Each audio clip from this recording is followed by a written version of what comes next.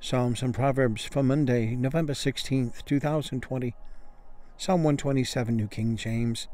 Laboring and prospering with the Lord. A song of ascents of Solomon.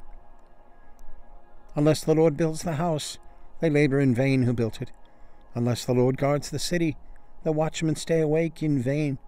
It is vain for you to rise up early, to sit up late, to eat the bread of sorrows, for so he gives his beloved sleep.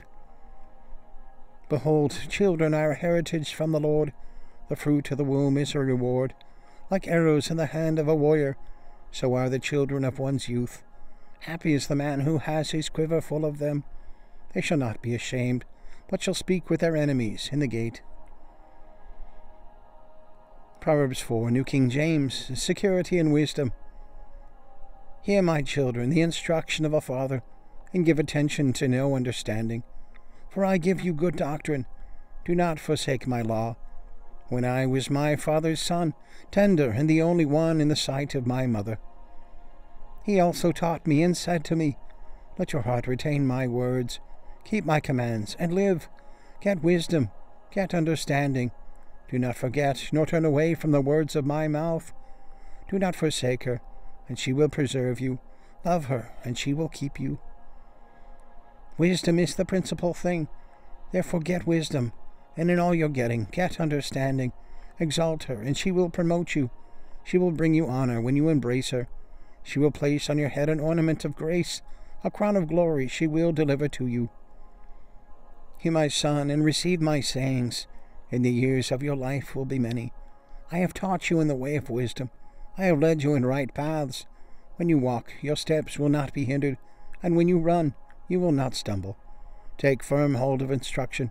Do not let go. Keep her, for she is your life.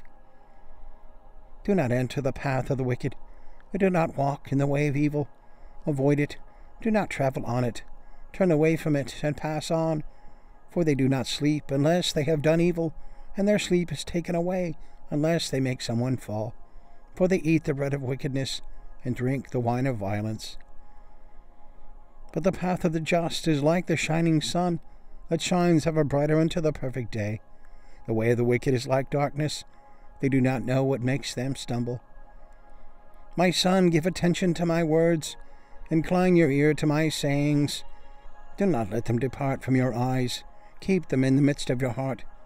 For they are life to those who find them, and health to all their flesh. Keep your heart with all diligence, for out of it spring the issues of life. Put away from you a deceitful mouth, and put perverse lips far from you. Let your eyes look straight ahead, and your eyelids look right before you. Ponder the path of your feet, and let all your ways be established. Do not turn to the right or the left. Remove your foot from evil. Okay, and the links are there as usual if you want to check that out. So give us a thumbs up and click subscribe. Right, share with a friend. Leave a comment, question, prayer request. Always glad to hear from you. Always glad for your prayers and support. So have a good day. God bless. We'll see you tomorrow.